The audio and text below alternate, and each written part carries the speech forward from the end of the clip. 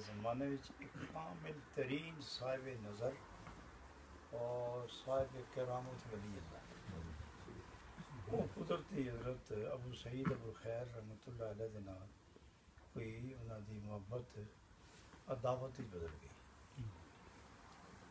तो ਜਦੋਂ ਹੀ ਬੈਠਣ ਕੋਈ ਗੱਲ ਚਲੇ ਤੇ ਉਹਨਾਂ ਨੂੰ ਸਖਤ ਲਫ਼ਜ਼ਾਂ ਨਾਲ ਯਾਦ ਕਰਨ ਉਹ ਐਸਾ ਹੈ ਉਹ ਐਸਾ ਹੈ ਉਹ ਐਸਾ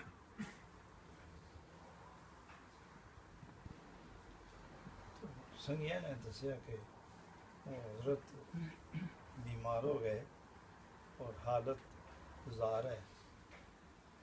बीमार बहुत हैं। तो उन्होंने सेहत वास्ते दुआ करो। हज़रत अबू शहीद अबू खैर रहमत फरमान लगे यार इतने बह के दुआ नहीं करनी।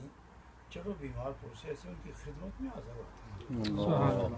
तो संज्ञा के हज़रत वो आपको अच्छा नहीं समझते। तो महफिल में लोग सख्त जुमले कह देंगे तो हमें बड़ी तकलीफ़ होगी।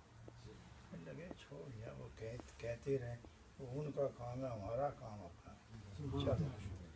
चले तो रास्ते बीच एक बंदा आया। मैं कहा कि मैं हज़रत की महफिल से आ रहा हूँ और आपको आगाह करता हूँ कि हज़रत ने फरमाया तुम मेरे पास ना आना मुझे तुमसे नफरत है तुम ईसाई हो। किसी चर्च में जाओ। इधर क्यों आते हो? तुम तो ईसाई हो और हमारे मज़हब से निकले हुए हो तुम। जाओ किसी चर्च में जाओ। ये खड़े हो गए। तो कहने लगे कि वो तो वैसे ही तो नहीं कह दिया उन्होंने कि चर्च में जाओ। कोई एक मज़हब होगी। चलो यार किसी चर्च में चलते चर्च में गए पादरी वगैरह सारे बैठे हुए वो कुछ पढ़ रहे थे इंजील वगैरह। तो ये भी अंदर दाखिल हो गए तो उन्होंने मुजस्मा लगा रखा था रखा था हज़रत ईसा अलैहिस्सलाम तो वो लटका के रखा हुआ था तो ये सीधे मुजस्मे के पास चले गए। मुजस्मे को मुखातब करके फरमाते हैं कि आपके मतलब ये मशहूर है कि आपने खुदाई का दावा किया कि मैं खुदा हूँ और खुदा की औलाद हूँ और लोग गुमराह हो गए। तो आप बताते क्यों नहीं कि ये झूठ है? इसलिए मैं गुजारिश करता हूँ नीचे उतरो और लोगों को कहो ये झूठ है। अब वो जस्मा नीचे आया। उससे आवाज़ आई कि मैं अल्लाह का बंदा हूँ मैं खुदा नहीं हूँ।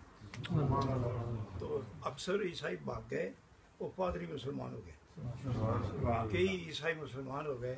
तो हज़रत अबू सईद अबुल खैर रहमतुल्लाह अलैह लोगों को कहने लगे उसने वैसे ही तूने कह दिया था कि तुम ईसाई हो चर्च में जाओ ये एक बात थी। फिर भी प्रधान डाल दिया उन्होंने। करामत अपनी और नाम उनका। तो ये दरवेशों के कुछ मामूलात ऐसे होते हैं कि बज़ाहिरन जिस तरह भी हो, लेकिन ये हुजूर खुदाबंदी और जनाब मोहम्मदी की बारगाह से इनके अंदर जो कैफियत होती है ना, ये अजीब होती है। आज सुबह